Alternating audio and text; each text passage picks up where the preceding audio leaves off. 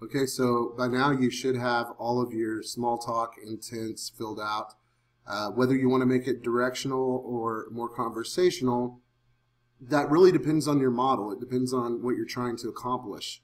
Uh, if you want your agent to take pizza orders, you're going to want it to be very directional. Uh, meaning in all of those small talk responses, you might want to provide an answer to the question, but with an answer, uh, an explanation on how the user needs to respond needs to interact with the interface. Um, and that's something that you're going to have to think about as an individual, which is why I recommend that you fill out the form on chrisai.com.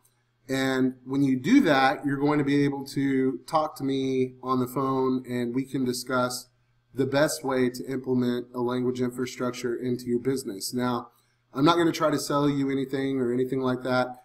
I know that plenty of people, I've already got several interested people. I know that plenty of people are going to be interested in what I have to offer. And, uh, you know, if you're interested, then let me know. And what I have to offer is building your language interface for you. Uh, or helping you build your language interface, helping you to construct the language uh, in a way that's going to be um, that's going to streamline your business, that's going to make your business function better. So if you're a pizza restaurant, you want it to be directional. Everything directional to the order. Uh, you know, what would you like today? How can I help you today? Uh, and you want the response to that to be ordering food. That's how you make money. So, um, and when you're looking at a language interface like this, the language is only part of it. Okay, the language is the response. So if I want to order a large pizza, um, maybe the response would be, okay, you want a large pizza. What kind of pizza would you like? Okay, would be a follow-up response. And then what kind of crust would you like? Would be another follow-up response. And depending on the price matching and the pricing options available for each of those categories, all of those functions uh, would have to be added to your interface to be able to accurately calculate the price and do all of that stuff. Um, and it's not hard to build the functionality in because it's an input action. You know, it's an input equals a reaction, but it can get kind of complicated when you want it to do the more complex task like ordering a pizza, calculating the order total, processing the credit card information, uh, linking it with your credit card processor, whatever the case is, however you want it to work for you. Um, and that all depends on like webhooks and stuff like that you're able to do a lot with this interface. Okay, you're able to do a lot more than what I'm going to show you over the next several days uh, in the Dialogflow tutorials. So today we're going to be talking about default fallback intent. And when we're looking at default fallback intent, this is the intent that the interface does not understand. So anything that it cannot correlate or anything that it cannot associate with an intent, it's going to go to the default fallback intent. And if we click on this folder, we can see that there are already a lot of responses that are here, and I don't want any of these here. We're going to come up with our own. And at Chris AI, I want Chris AI to be somewhat directional, but also conversational. And when you're looking at the default fallback, you have to remember that if it doesn't understand, there are a multitude of things that could have been said. The majority of the English language could have been said. So if you want it to sound natural and you want it to be conversational, you're going to have to make it mitigating. Okay, it's going to have to be language that can be either or. Language that you can interpret however you want to interpret. There's kind of a trick to it, you know, and, and you've got to think about the way that a conversation goes to be able to figure it out, to be able to do it really well. Because I know I can't do it as well as some of you would be able to. I mean, I know some of you are English majors and you actually understand the structure of the English language, you're going to be able to maybe put it together uh, even better than I would. The purpose of the tutorial is to show you how to go down the path and figure out what the best way to do it is for you. Um, and everybody, every business is going to have a different interface. That's why you want to build an individual interface is because you want it to be unique to you. You want it to be an individual that represents whoever it is that you are. That is the future. So uh, on input unknown, um, this is an action. Okay, so the input action can do a number of things. Okay, in, in this case, what we're doing here is we're programming speech. But you could also program a mechanical action. Um, you can program taking an order. You can program querying data. Okay, so if you want the weather wherever it is that you live and you want to integrate that into your interface, you can make your interface query data. Um, in the future, and even now, uh, you know, if you wanted to build your own robot, if you wanted to buy a robot model that is out there available, you're going to be able to integrate your speech into your robotic interface, whatever your robotic interface is. People think of robots and they think of, you know, these human being like things walking around. Robots can be anything. A robotic mechanism. Okay, you can control a robotic mechanism with your speech because the input dot unknown equals an output. And the output is down here. Now, the output that we're talking about is language.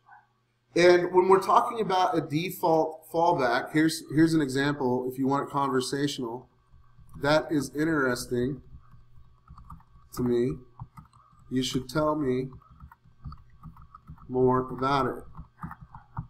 Okay, so it's conversational, and I might want to insert conversational elements throughout the, the default, where not every response is a Chris AI, hey, uh, you know, let's talk about AI or let's talk about Chris AI.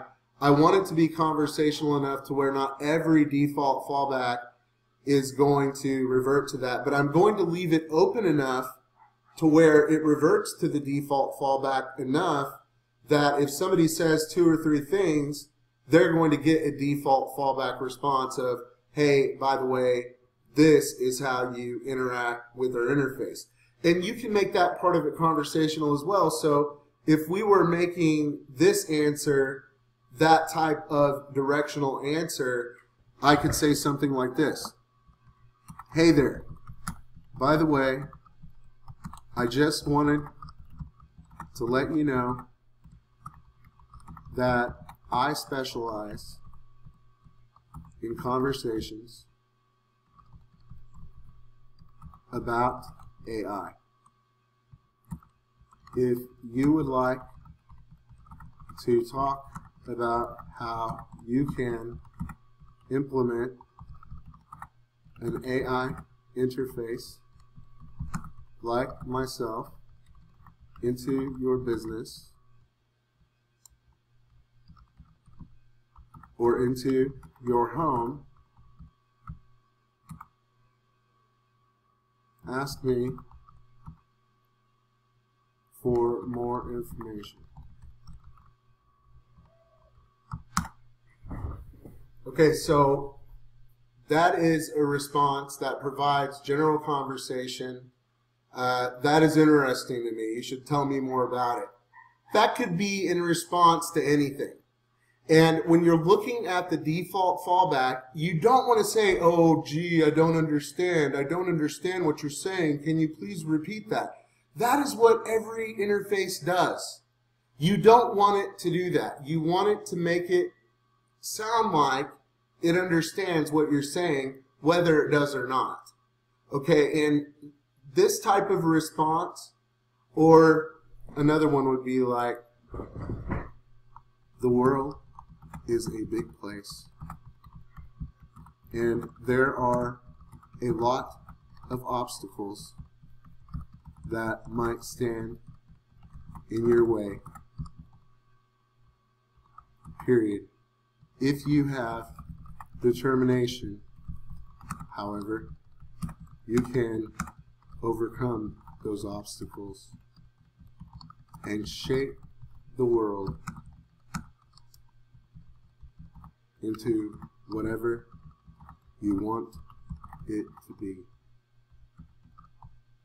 I believe the future of AI is bright.